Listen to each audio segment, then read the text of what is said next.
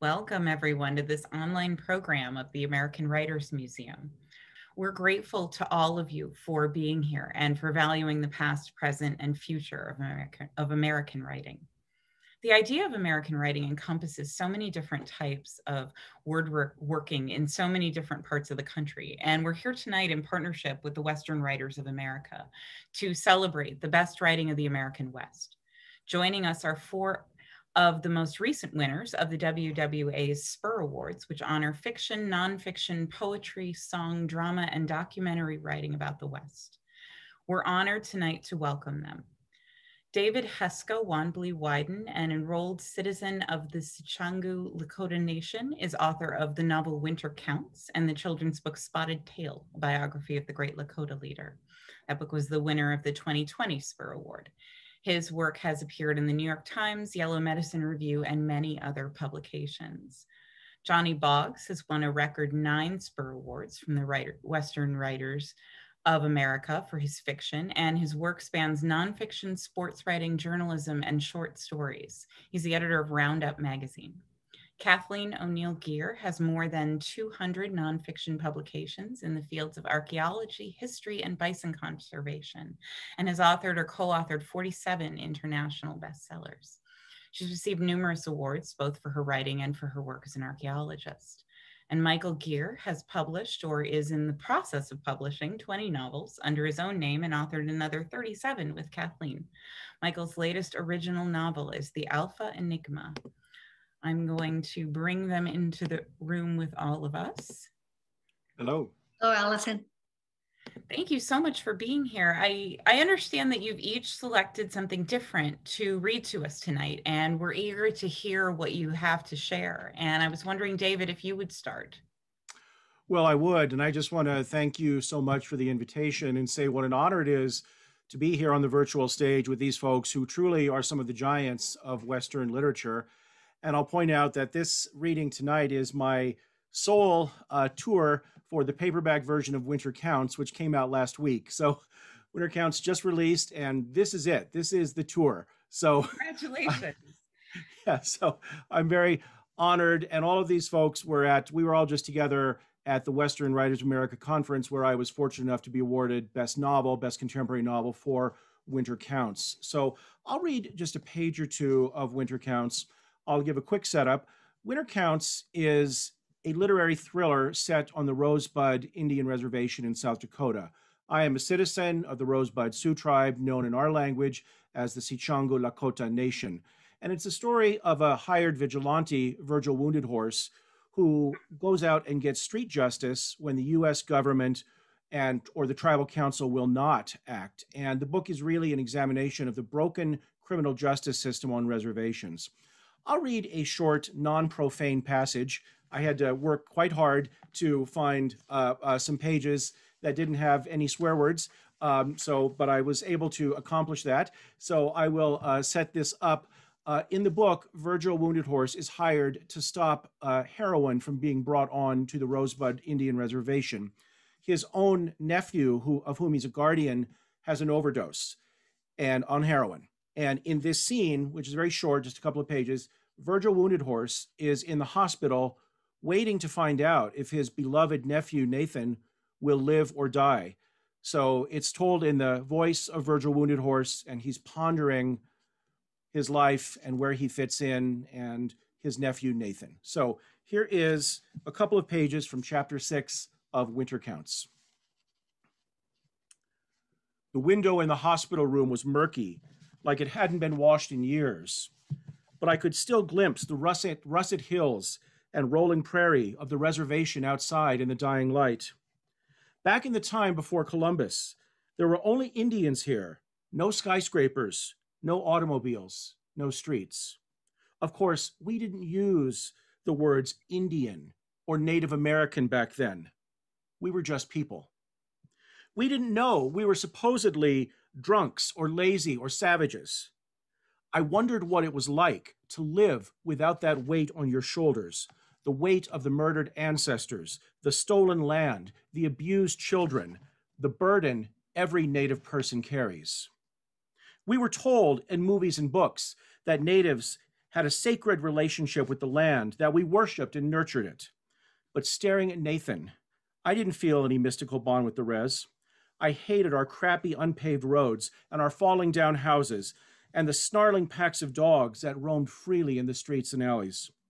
But most of all, I hated that kids like Nathan, good kids, decent kids, got involved with drugs and crime and gangs because there was nothing for them to do here. No after school jobs, no clubs, no tennis lesson.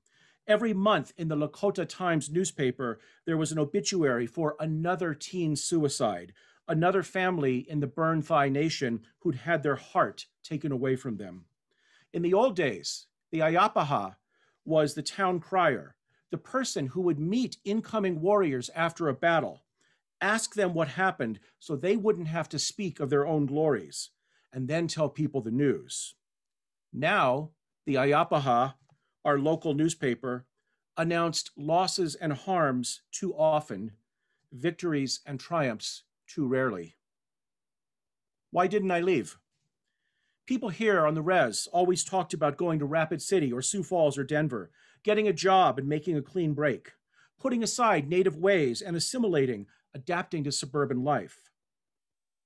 But I thought about the sound of the drummers at a powwow, the smell of wild sage, the way little native kids looked dressed up in their first regalia, the flash of the sun coming up over the hills.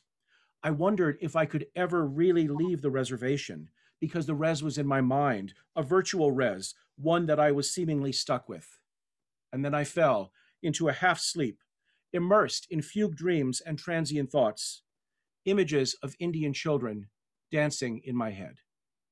Johnny, would you like to uh, to go next? Follow that? Gosh. uh, what David didn't say was that he also was just awarded Best First Novel from International Thriller Writers. So I'll give him a plug there. And it's a it's a fantastic read, David. It's just absolutely phenomenal. So uh, this is from the book that just won the Spur Award for Best Mass Market Paperback Novel. It's called A Thousand Texas uh, Longhorns. And, and this is just about two Union veterans um, sitting in a coffee shop who are bored out of their mind. The potatoes on John Catlin's plate were cold, same with the gravy, even the beef. The waitress at the Laporte Dining Palace refreshed his coffee and moved on. Catlin broke the dam of mashed potatoes with a spoon, but no waterfall broke free. No flood of brown drenched his beef, for the gravy had congealed, which didn't surprise him. For at least 15 minutes, he had just stared at the food. Chair legs scraped the floor as Steve Grover sat, uninvited, holding his own cup of coffee. Sipping, Grover shook out a copy of Daily State Sentinel. Catlin looked across the small cafe, Palace was a misnomer, to see if he knew anyone else in the restaurant. He hadn't thought to look when he first sat down, but unless someone was hiding, Grover and Catlin were the only ones here. No, there was a gent with a silk hat by the table near the window that looked out onto the alley, spooning lemon cake. How long you been here? Catlin asked. Just got here. Got a cup of water, dyed with coffee. You was so focused on your chow, you didn't even hear me say afternoon, Captain. Oh, Catlin eyed his food. Grover studied the newspaper. At $2 a year, Grover said, a man would think there'd be something worth reading. You subscribe to an Indianapolis newspaper? No. He turned the page. Found it on a bench outside of Marston's. You getting a photograph or ambrotype taken? Neither. Grover flipped to another page. Just walking past. He's closed on Sundays anyhow. He peered over the top of the paper. You ever get a likeness made of yourself? Catlin nodded. Indianapolis, before we marched south. Tintype. Mailed one? No, must have been two to Mon Pond, Michigan. I got four. Must have kept one for myself. Don't know what I did with the other. How much did that cost? He shrugged. Two bits, four, dollar, don't rightly recall. Grover returned to the newspaper, went to another page, looked at Catlin again. How'd you know it was an Indianapolis newspaper? I left it on the bench outside of Wallace's grocery house. You subscribe to the Sentinel? No, I found it in the trash box outside of Culver's. You buying a book or crockery? Grover asked. Where? At Culver's. No, he's closed too, it being Sunday. I just looked down by chance, saw it, picked it up. Wonder how it got all the way up here. The paper, I mean. Drummer, I warrant. Most likely. Wonder how it got from Culver's to Marston's. That's a mystery for sure. Catlin looked at his plate, sighed. You don't read the Herald? Charlie Powell don't put nothing in his paper except advertisements for blood pills. You? Catlin was too late trying to cover his yawn. Excuse me. I'll pick up one now and then when I find one at the grocery or Culver store. How'd your winter wheat make out? Slim. Yours? About the same. Spring wheat was average. Mine too. Figure this spring will be better. Catlin nodded. If we get some decent rain. Silence. Come to church? Got here too late. You? I just got here. A month or maybe just a minute passed. Well, I know why you left this on the bench. Nothing worth reading in Indianapolis either. There's always something worth reading, Catlin said. What? Sign. Catlin took the paper, turned to the second page, and tapped at the quotation below the paper's name and the date. The Union. It must be preserved. Jackson. Grover nodded, took the paper, and slid it to the side of the table. Catlin plowed the potatoes with a spork, preparation, he figured, for spring, if spring ever returned. Grover slurped, Catlin farm mashed potatoes, the gravy hardened, the waitress walked by without checking on either. Catlin thought about tasting the meal he'd paid for and decided against it. Ran into Mrs. Yoho at Alvord's yesterday, Grover said. How's she doing? Got the catarrh? I see. Getting better. There are remedies. Grover tapped the papers. Papers are full of advertisements for cures, especially in Charlie's Herald, last time I saw a copy anyhow. They grinned, sipped coffee, which still wasn't good. Catlin wondered how his dinner would taste if he'd bothered to eat. Then again, he knew how it tasted. Hell, that's all anyone ate here whenever they come town to splurge on a meal, something they didn't have to cook themselves. And when they ate at home, this is the same blessed meal they'd cook. He asked if I'd speak to the unconditional Union girls of LaPorte, Grover said. Who? Mrs. Yoho. Catlin had to reconnoiter to figure out where Mrs. Yoho came into the conversation. Speak about what? he asked after a moment. Grover smiled and tapped the, the folded newspaper. How I preserved the Union. Oh, Catlin wondered if the beef might be halfway decent. I got asked to speak once. To the unconditional Union girls? Catlin shook his head. St. Rose's Academy. What'd you say? Nothing. I told the headmistress to ask me another time after the wheat crop was in. The clock ticked. The waitress stared at them long and hard before she turned another page in some yellow covered novel. I meant to unplug that. well, Catlin stretched, guess it's about that time. Yeah. Getting late. Yeah. Ought to get my wagon, head back to home. Yeah. Might come a good snow. Moisture would help. They waited. We did it though, didn't we? Grover said.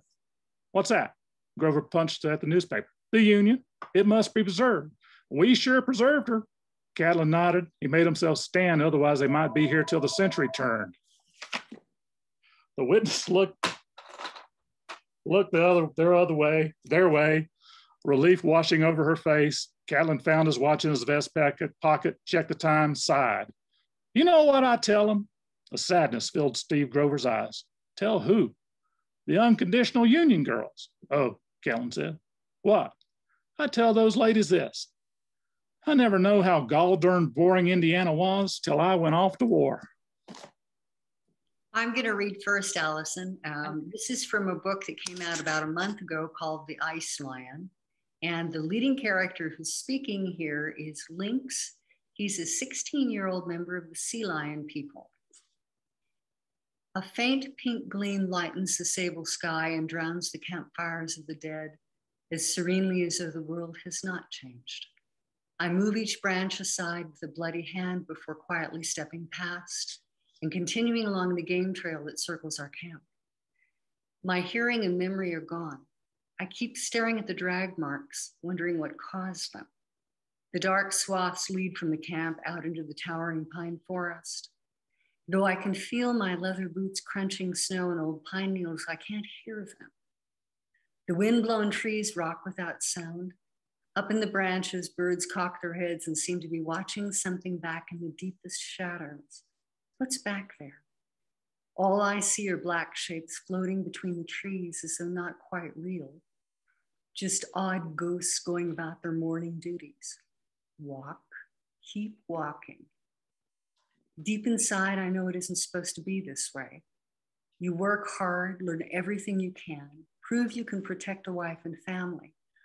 Then, as soon as a girl passes her first blood moon, you are granted the right to marry. When you die, it's many summers later, surrounded by children and grandchildren. Not this reaching, not this struggling to grasp your heart and stop it from slamming inside your chest. By the time I circle around again, how many times have I circled? The light is brighter, the camp clearer. The heap of coals in the fire flash red when the wind gusts. Beside it, mammoth hides lie in shreds, and near them, two packs. Both have been ripped open and the contents strewn around. There's a spear in the grass. Painted yellow diamonds decorate the shaft. It's familiar. Is it my spear? How did it get there? Did I throw it down and run? No, not again. I should go pick it up, but I'm afraid to walk into the open with the yellow eyes watching me. I don't always see them, but sometimes they gleam, tracking my movements. Why can't I hear them? Twigs must be snapping as the animals resettle their, resettle their heavy bodies around the kills. If only I'd gone blind instead of deaf. I long not to see, but I can't close my eyes. These are my last moments. I must watch them pass, need to as though somehow the very turning of the seasons depends upon seeing my breath frost the air until the very end. When I stop and brace my shaking knees, my blood soaked pants feel stiff. Am I hurt? I feel no pain, only a stunned tingling that makes it impossible to think. How long ago was our camp attacked? Moments, days. The temperature tells me it might be early autumn. As father sun crests the eastern horizon, the morning warms imperceptibly, and bars and streaks of pale gold puncture the shadows and leave them dying on the forest floor. I seem to be falling through emptiness at the end of time, and I can see the bottom rising up to meet me. Nonsensically, I blink at the ice giants. Their bodies spread across the horizon for as far as I can see, wrinkling it like a colossal blue white blanket, creased with the shadows of valleys and dotted with trees. There's a a story the elders tell about how the ancient Gemin tried to fight the ice giants by casting a necklace studded with gigantic mirrors into the sky to melt them. Where am I? What's my clan? I can't even remember the name of my village. My only recollections are of rustlings in the grass and the thumps and arms and legs being dragged between tree trunks. How many lions are out there? Lightheaded, I walk out into the meadow.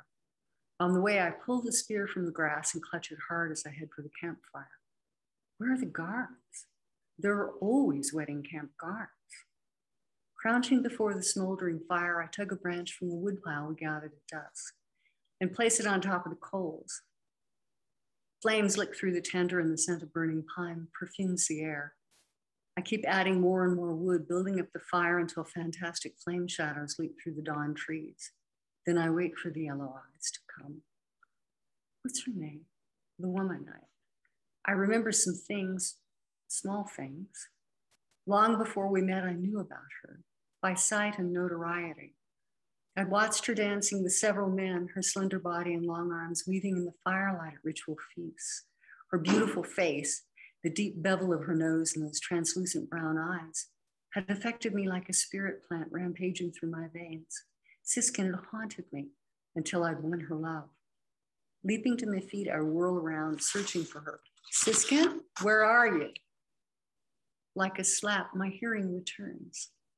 When the roar of lions and human whimpers eddy through the trees, my knees fail. I sit down hard and stare at the fire until nothing exists except the fluttering orange glow. No trees, no boulders, no cries for help. It's like living inside flame glow. For a long time, I studied the swarms of sparks rising into the clear air. Far down the mountainside, waves roll toward a distant shore. I must get home, tell someone, tell them something. Rising on shaking legs, I run. The almost soundless padding of giant paws under it seems timed to my heartbeat. There are no contradictions now, no future, no past. I run suspended between despair and ecstasy. Here in the single instant is the totality of every lesson I've ever learned, every desire I've ever felt. Nothing means anything. All the guilt for the things I've done wrong or never accomplished evaporates with the sound of the panting behind me. I do wonder why I was ever born. What was the purpose? I've barely lived my life, 16 short summers. What was it all for? Clutching my spear in my shaking fist, I pound through the grass. The beat of paws picks up, loping along. At the edge of my vision, tan fur appears and disappears amid the dense weave of the forest, a slow lope. There's no need to rush. The lions know I can't outrun them. Mike, would you like to uh, finish us off the reading portion of the of the event? Yep, we always save the worst for last. this comes from uh, The Scorched Earth. I worked on this novel for 30 years, uh, had agents that said, well, we won't represent it because it's no one is into to big historical Civil War Western novels. Um, and over the years, I would rewrite and rewrite and rewrite. And finally, sold it to Tom Doherty at, at Tor Forge over supper one night in New York, and finally got to see it come to life. Um, I'm going to, to read a little bit out of chapter 13. Uh, in the, the story, Butler Hancock is, is a lieutenant in the Confederate Army. Uh, he didn't really, he, he's a um, abolitionist from Northwestern Arkansas. And there were a lot of abolitionists in Northwestern Arkansas. They all joined the, the Confederate Army because they supported their state and supported secession. And this is early in the book. This is the, the retreat. Uh, the Confederates have been surrounded in Kentucky and have retreated to Nashville. And of course, the, the city is indefensible. And Butler is getting his first taste of the war. He's in Nashville. Here and there, structures burned, sparks and smoke shot into the sky. Furtive groups of sculptors looted stores and residences. Women shrieked and pleaded, some groveling before drunken men who carried off household furnishings. On a street corner, a lunatic laughed maniacally, a whiskey bottle dangling from his hand, his face reflecting crazy relief at the sight of the troops. The arrival of Hardee's half frozen, sick, and dispirited men only added to the intensity of defeat. At the sight of them, even more people picked up and joined the ragged columns of refugees that clogged the roads out of town. But most striking, the image Butler would carry away was the terror in the children's eyes, their pale faces, tear streaked, gaping mouths like black holes. This was the stuff of nightmares the literature of disaster come to life, like Euripides would have penned in The Trojan Women, the sack of Rome, the razing of Carthage, or Napoleon at Moscow. In a daze, he rode through the streets, his pistol in his hand for protection. He kept asking himself, Am I really seeing this? He rode south on the Murfreesboro Pike, he tried not to think of the cries and dismay expressed in the remaining terror crazed citizens of Tennessee's one time capital on the Cumberland. What was war anyway? He wanted to cry for the poor people, the broken and terrified, fleeing into the cold, the rain, and the mud as the Yankee horde swept down from the north. It was the children, the women, the frightened families, many of them without comfort of men, that speared his heart, nor did it let up. Wagons clogged the road, loaded as they were with the treasures of a lifetime.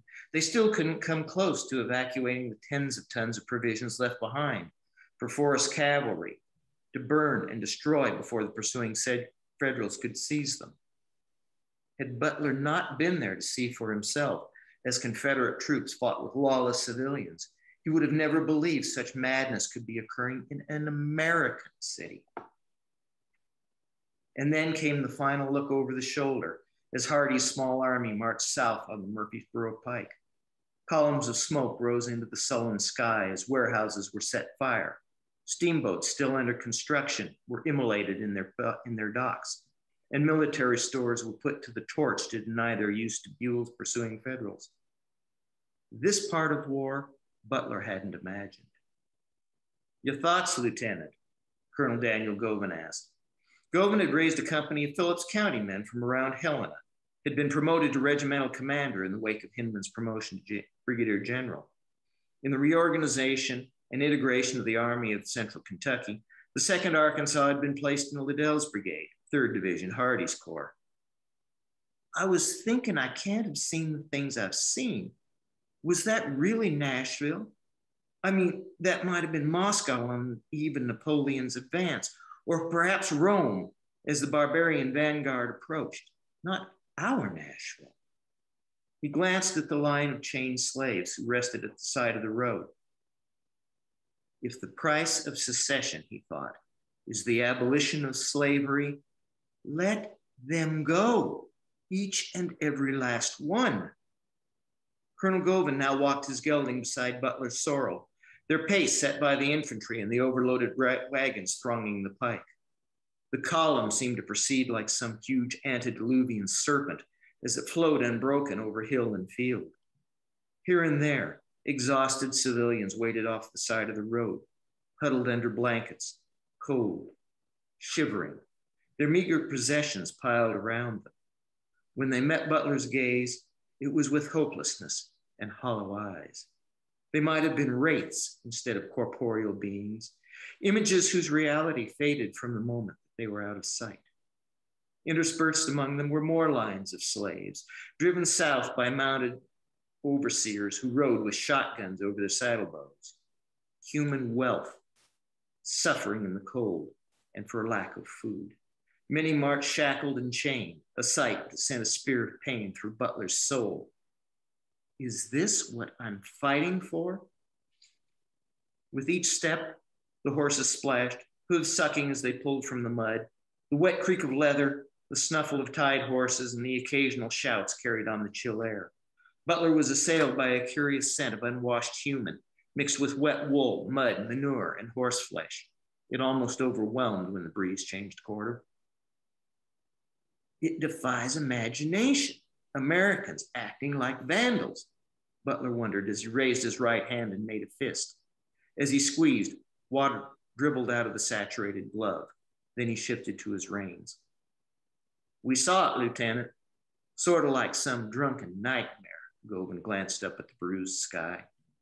Except I haven't woke from it yet. Just past the stone walls lining the sunken road, the county was gray and barren.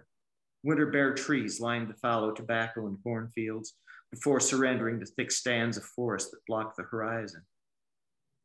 Occasional cabins and barns were set back from the road, all looking abandoned. Word was that the locals had removed themselves and most of all their livestock from any possible depredations of passing army or the horde of refugees. Seems like a damn shame. Thank you so much. And thank you to, to all of you for, for sharing those words with us. I wanted to, I have a few questions. Um, we're going to talk a little bit about writing and then um, I'm going to take, we're going to take some questions from the audience. So just a, a, quick reminder for folks, if you have a question, type it into the Q&A box that's in the middle of the bottom of your screen there. And I'm checking on that. And so we're going to take a few of those questions the four of you write so many different things and and so there, there was far more in all of your careers than i could possibly fit into a into an introduction.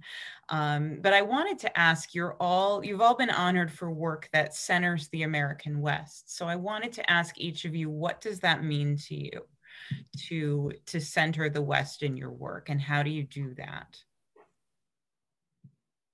I'll i'll answer first if it's okay Please. Uh, the West, for me, is about facing the challenges of a frontier.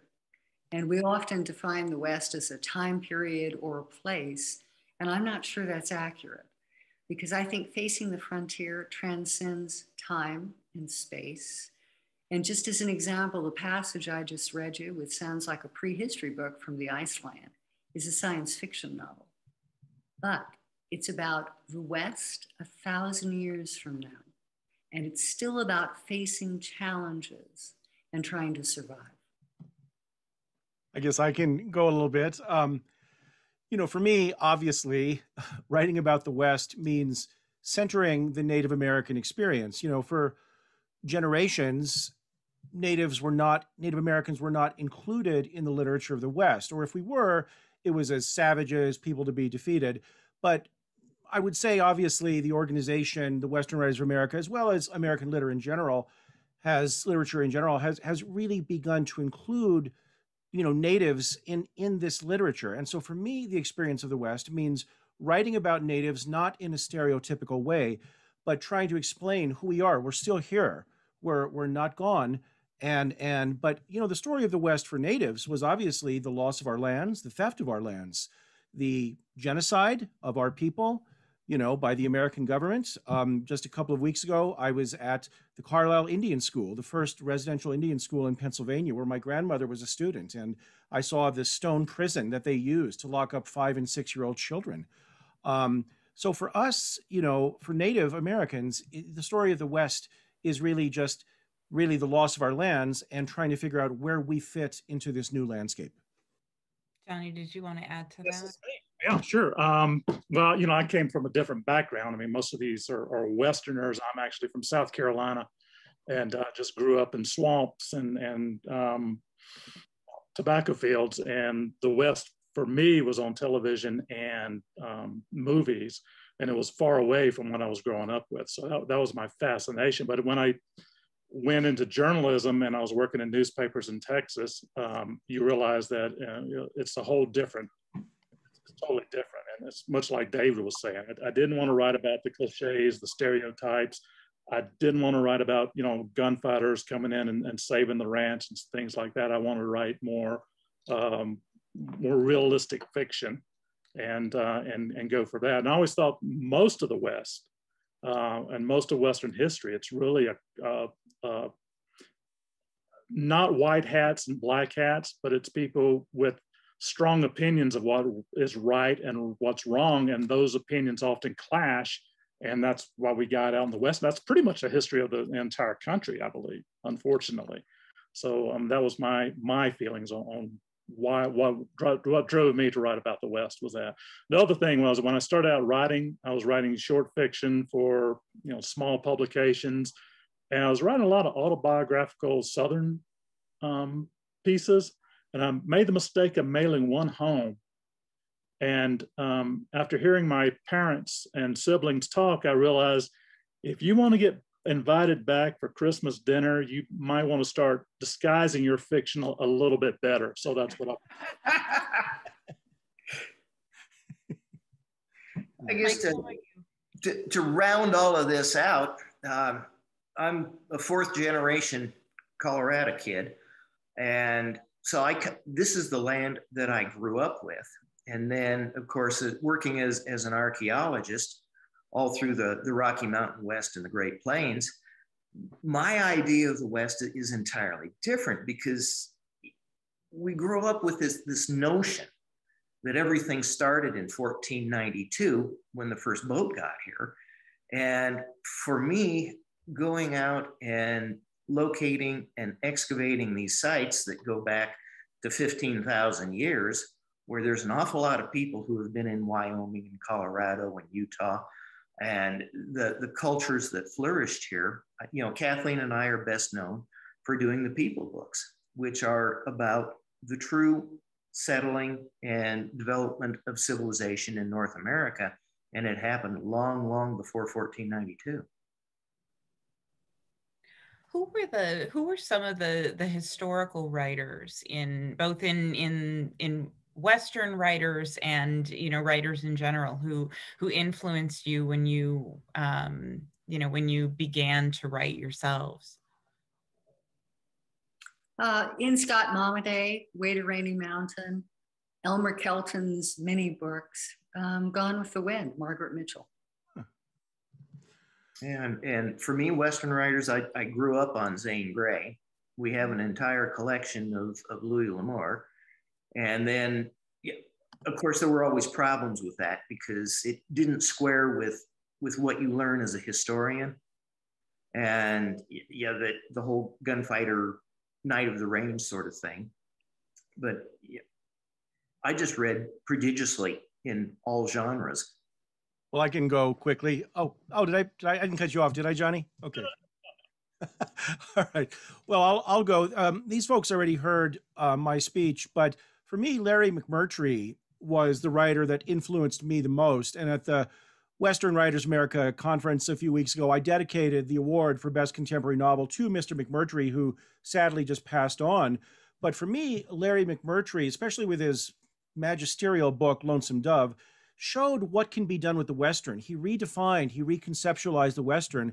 And he also showed that, that what we sometimes dismissively call genre literature is just literature. It's just literature that has big themes and big ideas and great stories. And so for me, I've been a Larry McMurtry fan long before Lonesome Dove. And uh, what a loss to the world of letters. Indeed, indeed and, and, and, working in, in Texas in the newspapers, one thing was required reading was every Larry McMurtry book that came out. You had to read it all the time. Uh, and yeah, I mean, I think I think Horseman Passed By and The Last Picture Show are two just beautiful, beautiful books, and they're set in, the, uh, in what the modern West in the 1950s. Uh, so I thought those were, were just great literature. Um, uh, A.B. Guthrie Jr. Uh, and I remember um, I was in college and I walked across from my dorm into a bookstore, and there was a paperback by Dorothy M. Johnson called The Hanging Tree and Other Stories. And Dorothy M. Johnson wrote a number of short stories that became movies uh, The Hanging Tree, The Man Who Shot Liberty Valance, and ooh, I'm drawing a blank on another. Uh, but um, she, she was just, I, I picked up this, this book, uh, went back to my room and started reading it. And, you know, I in South Carolina, what you found were usually um, Louis L'Amour novels, and and maybe a Zane. My dad once gave me a Zane Grey novel, and I, am I'm, I'm sorry, Mike, but I, I read through the Zane Grey novel, and and I'm like, man, this is just this is just ponderous. I mean, the the description of the land's beautiful, but the dialogue just sucks. but Dorothy M. Johnson just transformed me because there, it was literate. It wasn't good guys and bad guys. Some of them were really funny and I just said, you know, that's what I that's who I want to be. I want to be Dorothy M. Johnson. Um, I never succeeded, but uh, I keep trying. You have to have a ranch in Montana. all done you know so so much work in in so many different forms and so i wanted to ask you what your writing process is like and how that process has changed for you over the course of your careers I always start. Somebody else has to start. um, I was working at a newspaper, and I was, you know, I think a lot of newspaper journalists, they their their goal is to become a, a, a writer of novels, and and few of them ever actually. Uh, I mean, C.J. Box, uh, Tony Hillerman, you know, it can be done, and that, that was my dream. I mean, I knew I wanted to be a writer, but I also knew I needed to make a living. not that trying to be a sports writer or sports uh, assistant sports editor is a good way to make a living, but that's what started out. And I was writing on the side. I was, you know, doing this short stories and stuff like that. And I, I started writing a novel, and I finished the novel in like three and a half years. And then I tried to sell it for about three years. Eventually, I did sell. My agent eventually sold it. But I also realized, you know what? Um, if it's taken you three and a half years to write a novel that most people can finish in a year, you need to just start down and focusing on that. So that's when I started focusing and I started, okay, I'm, I'm going to do this. I'm going to do this.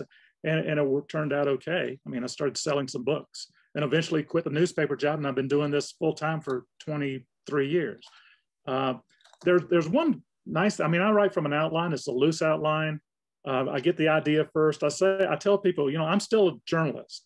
But instead of asking the questions who, what, where, when, why, I ask what if, and then let the imagination go. And the the the thing I do miss though is when when I when I had the, the steady income and I was just writing for myself, you know, it wasn't quite the pressure.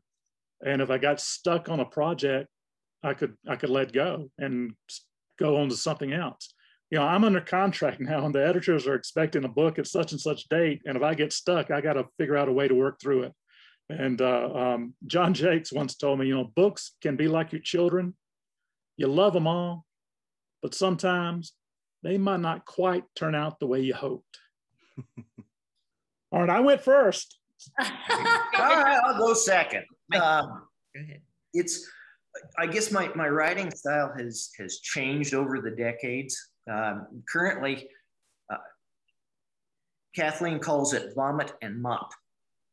And so what i try and do is is you get into the to the flow of the story and it doesn't matter. Get it down. And know there are days when i'll come up be really happy with myself for having done like 25 pages. And then I have to go back and spend two and a half weeks cleaning it all up and turning it into like real English and realizing that every adjective is not red. So that's that's pretty much it. And it, it changes depending upon which genre we're writing in. If we're writing in prehistory, there's a lot of research. I mean, we're having to go from uh, anthropological reports, monographs, uh, pollen analysis, uh, climatic reconstructions, and, and, just all kinds of things, and then weaving that in. Versus if if we're doing a, a modern historical like dissolution, uh, that's this is what we live every day, so it, it goes a lot faster. David. I'll, I'll, I'll go so you don't have to. Yeah, so you can go last for once. Well, I'm really the the the wrong person to ask for this question because I'm the the rookie of this group. You know, I've got my I have a scholarly book out and a children's book, but this is my first real novel. So I, I don't know that I have a great answer to this question. But like Johnny said, I am under contract with HarperCollins for my next book, and they want that manuscript uh, quite badly. And so, if there are any writers out there, I will tell you what I've done to try and speed up my writing process is I do outline now. And specifically, I create what's called a beat sheet. So if folks have read uh, this book, it's a screenwriting book called Save Save the Cat uh, by Blake Snyder. And so really reading Save the Cat um, transformed my writing process because it gave me a template that you know you can shift to suit your own needs. And it helped me when I was stuck. And now I, I teach in several MFA writing programs, and I make my students read uh, Save the Cat. So that's what's changed for me. Instead of free writing, I don't have time. So I, I outlined and created a beat sheet. I am what thriller writers call a pantser. And what that means is I write by the seat of my pants. I literally live the story with the characters. I have no idea how it's going to end unless I'm writing a historical novel where I do know the historical outcome. But I don't know how the characters get there. And so I feel my way along, letting the characters lead the story. But in terms of my writing style, I'm a bricklayer. And what I mean by that is every paragraph has to be right before I proceed to the next paragraph. I'm laying bricks. This is the foundation. This is the next level. This is the next level. And I mean, Mike hates way I write because it takes me three times as long to finish a book. So if I'm writing the draft of one of our co authored books, he gets really frustrated. But nonetheless, when I finish mine, it is not a vomit and mop session. it is basically done. yeah. And over the years, we've made a pretty in depth study of writing and the writing process. I mean, one of the reasons we love going to Thriller Fest in New York is hmm. where else can you, know, and we always sign up for Craft Fest, which raises eyebrows periodically. But where else can you go and listen to your peers talk for an hour solid on the writing process. And what we have come to understand is that the one great immutable law about writing is that there's no great immutable law about writing. And each and every one has to figure out for themselves what works. Amen. I just want to remind folks really quickly that um, we are going to uh, start taking questions from the audience. So if you have one, please type it into the Q&A box. Sorry, Johnny, I stepped on you there. Uh, I was just agreeing.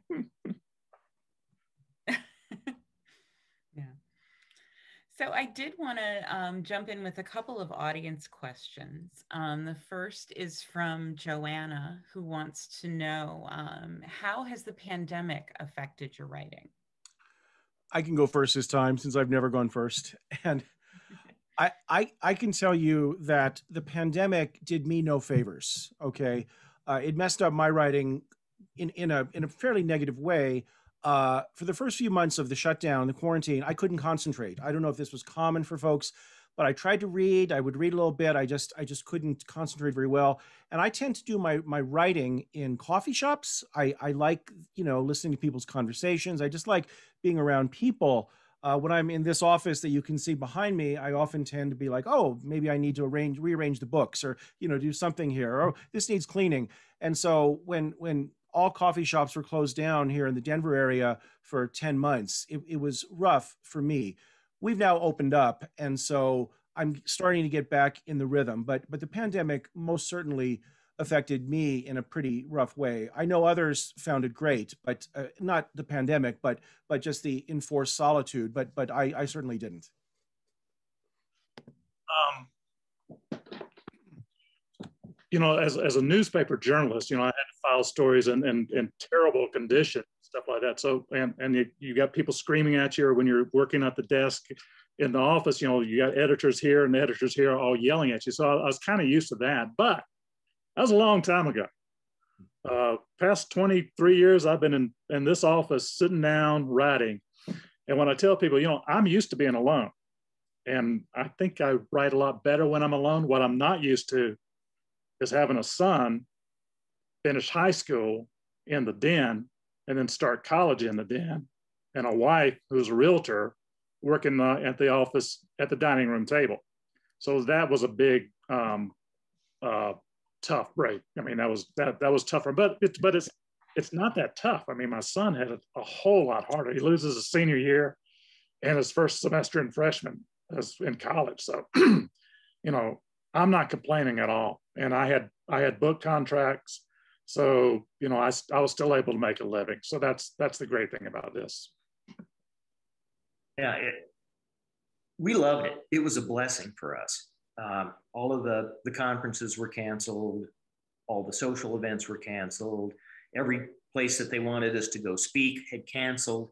So we just sat down and we went to work. Uh, and we, we, I in particular really needed it because uh, Simon and Schuster censored one of my novels that I was working on the the the, uh, the sequel for, and Hmm. I've never been shut down like that in my life. I mean, it was the most terrifying thing that, that has I've ever endured in, in my entire 35 careers as, as an author. And so when the pandemic hit and our editor at, at DOS said, yeah, just don't do that. Write another Donovan book instead. I mean, I, I just sat down and what turned that out in a month and a half mm-hmm. about 150,000 words. So for me, the pandemic was was great. You know, and, and for me, I am by nature an introvert who prefers solitude. Mike and I spent 28 years living on a buffalo ranch, seven miles from the next closest house. So I have always written in isolation and done my best work there. It's just that with the uh, pandemic, I was enforced. So I couldn't go out and have a beer at the One Eyed Buffalo in Thermopolis, Wyoming. I had mm. to stay home and actually sit in front of the keyboard, which I did.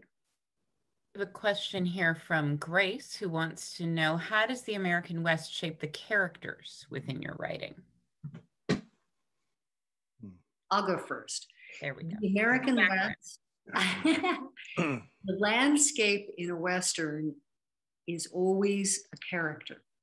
So the landscape speaks, the landscape lives, the landscape interacts with your characters in a way that it, I'm sure it does in other genres, but it seems more so in a novel that's set in the frontier. And so the the landscape itself shapes everything you write. Yeah, I'm going to follow and hold up dissolution again because this is a story about an archaeological field crew going up into the Wind River Mountains, and the, the end of the world comes. And for Sam Delgado, he's he's a graduate student from New York.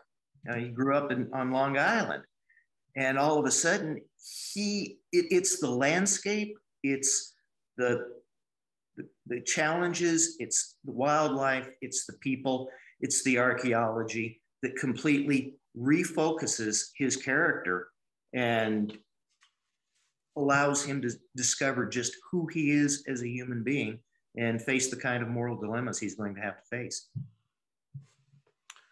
I can uh, piggyback on that as well. Um, so for me, I, you know, I, I, very much agree with what you guys just said. Uh, for me, the landscape of the American West obviously centered upon the Rosebud Indian Reservation, and and I felt that, you know, I needed to write a, a, a novel that depicted a reservation, which I, I, understand that most of my readers have never set foot on a native reservation. They may have seen one on TV, you know. Um, now I have I have a, a fair number of native readers, but you know, I, 70,000 people, I'm sure of my people that bought my book have never stepped foot on a native reservation, you know. And so I, I wanted to depict what life is like on an Indian reservation because I don't think people understand that. I wanted to show sort of the the poverty, the fact that we don't have restaurants on the reservation, 40% of our houses don't have uh, electricity or running water um, you know, it's it's a very different landscape than than I think folks are used to, and it is part of the American West. But I also put three chapters of the book in Denver, Colorado, my beloved hometown. How this has changed because the Denver that I grew up in some decades ago is changing.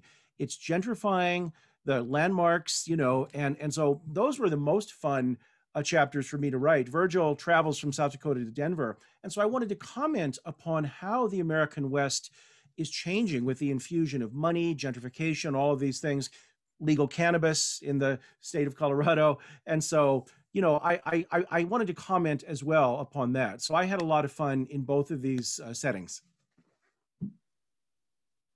Yeah, sure. I mean, the lands, landscape's a big part of it. The land is a character, like everybody says. Uh, and it's also, you know, you got people. I get a lot of times I'm writing coming of age novels for young adults or or you know adults or i got people fish out of water. People from the south who find themselves in the west and how that affects them. How do you adapt to change? How do you adapt to uh, conflict? I mean that's that's pretty much um, what i think most good literature is. It's about change and conflict and how we deal with it. Question here from uh, melanie who wants to know how are you responding in your work to the increasing environmental threats to the west? Hmm. I think Mike should start that with dissolution. Yeah. um, you know, one of the, the really downsides to being an anthropologist and archaeologist who has, well, Kathy and I have both spent our entire adult careers studying the collapse of cultures and writing about them, is seeing the same things beginning to happen to our own, and, and now we have worldwide culture where what happened to the lowland Maya and to the Chaco and, and to Cahokia and to the Harappan civilization and to Ur and all of the other ones that you can go down the line is now happening to us. The climate is changing. We have a large population, seven and a half billion people who are being fed on just in time uh, inventory re food resources. And the climate is changing, and people are starting to, to scramble over uh, decreasing resources. So Kathy and I were asked to write dissolution specifically as our take on changing climate, on the social problems that, that we have in the country today, and what happens when it all goes wrong. And just uh, as another thing, my book, The Ice Lion that I read from, is all about global warming and what we do right and what we do wrong. Came out pretty long. I can go, Johnny, unless you want to go. well, I mean, uh, yeah, you go. Well, you know, I think it's a wonderful question, and thank you to the person who submitted it. I, you know, I'm going to be honest. I didn't really address environmental threats to the West in my book, and the reason is there were so many other subjects that I needed to cover, and I didn't want the book to be sort of this dry textbook, you know, or or a catalog of of problems. So I actually had to pull some things back. So I focus upon the broken criminal justice system on reservations, the broken healthcare system, and the problem of healthy and sustainable food, which is, you know, I suppose tangentially related. But I didn't address, you know, uh, some of these other issues uh, uh, directly. You know, because again, there's there's only so much you can put in here, but but it's it's a great thought, and I can't wait to read Mike and Kathy's books. The fact that they address these so directly. And a, a lot of the the uh, things that we're dealing with today, you know, we had to deal with uh, in the past too. Uh, uh droughts, uh, heat waves, uh, terrible winters, things. I, I, did a novel in the 1886 uh, winter that just devastated the open range industry in, in the northern Montana and Wyoming area. So I mean, I mean, like I said, you know, change again, change whether it's in characters or whether it's in situations or in landscape and environment. It's all change and it's all about conflict. And again, that's that's what we would like to write this is going to be our last question for tonight although i'm sure we could uh, i'm sure we could talk all night long um, a question from mickey who wants to know is there a book you are afraid to write That's I'll start. question. Yes, there is. Um, there's a, a, period in American history between the, the mid 1600s and the mid 1700s that anthropologists have called the Shatter Zone, which is about the Native American slave trade. And Kathy and I have kicked this around time after time because it's this huge, giant, forgotten part of our American history and how our, our country actually unfolded. And the problem that we've got is we can't find anything heroic about it because it's it's heartbreaking. It's heartbreaking, and it, it's not just the whites, but it, it's the fact that you have so many Native American nations who are going out committing genocide on other Native American nations so that they can feed human beings into both the, the English slave market, the Spanish slave market, and to a, a very lesser extent, the French slave market. So that's one that, that Kathy and I just have never been able to, to, to juice ourselves up to write. It's just too heartbreaking. I wish somebody would though. I just want to jump in. I believe there's a scholarly book that just dealt with that. Andre, um, I forget, it starts with an R. I have it in my shelf over somewhere, and he won some award about two years ago. I'm sure you're aware of it, and he may he may approach it from a different angle than you guys are. So um, anyway. Yeah. David, the, the best reference that I can give you is uh, from Chicaza to Chickasaw by Dr. Robbie Ethridge, and it's a University of Mississippi press book where I mean she she just does it ethnographically, and it's it's just it's marvelous. It'll just leave you in tears. Well, I'll quickly follow that and say the book that I am afraid to write, and I've been working on it for a while, um, is uh, sort of my memoir project, creative nonfiction. I received a grant from the organization PEN America to write about the mass incarceration of American Indians, which involves some of my own family. Um, and and so I've tried to write about this. My uh, my auntie and my cousin were murdered uh, on the the Rosebud uh, Reservation, and um, you know, this is some subject matter that's fairly dark, and I, I have not really been able to find a way to get around it that I'm comfortable sharing with the world, but maybe in a few years.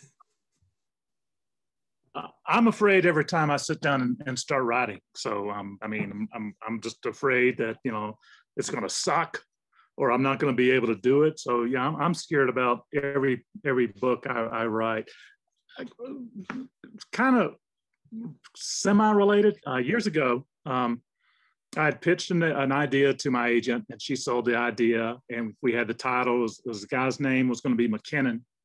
Um, and I told him, here's what I want to write. I want to write about this guy and, and Union officer in post-Civil War Texas. He goes down to Mexico, gets involved in the uh, the, the Juaristas and, and, and all that, and then um, it ends with just a, a, a Sam Peckinpah style bloodbath on this uh, beautiful beach on, on the western coast of Mexico. She goes, go for it. So, so I'm starting to write this book. I've got maybe a chapter or two in it, and then um, I'm actually on a on a magazine assignment uh, in a beautiful Colorado uh, guest ranch where um, they got Pendleton whiskey executives in to um, treat us all to free booze and, and, and free meals paired with this booze.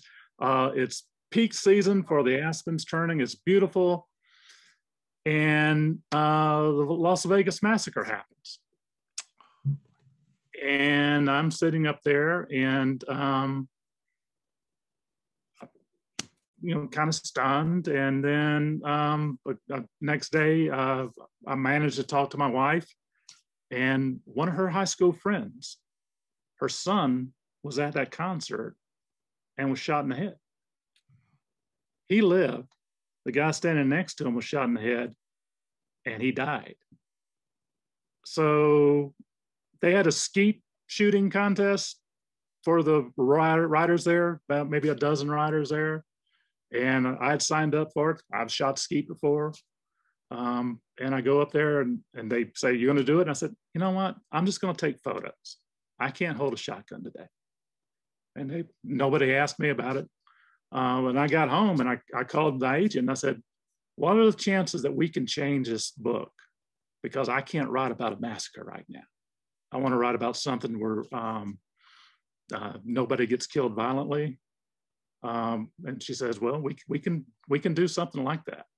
Um, I have to call the publisher. She got the okay from the publisher. And uh, we, we, had to keep the title because we'd already sent the title into the copyright office. So I just I just changed the book. Um, so you know, publishers can work with you sometimes when you when you get into a bind like that. So sometimes I think, do I really want to go back and write that massacre novel? But I'm scared to. David, I think the book you were you were talking about was called The Other Slavery. Andre Resende. That's right. I think is the I'm probably butchering his last name, but yeah, right. that was the the book. I remember reading about it when it came out. It's fascinating. Well, I just want to thank everyone for being here with us tonight, and I want to thank your our our wonderful writers. Thank you all. David and Johnny and Mike and Kathy, we really appreciate your sharing your thoughts with us, your writing with us, um, and we hope that soon we'll be able to have you back in person at the uh, at the Writers Museum in the coming months. But thank you all so much for for being here with us. Thank you, Allison. Thank you, Allison. Our pleasure. Thank, thank you all. Thank you.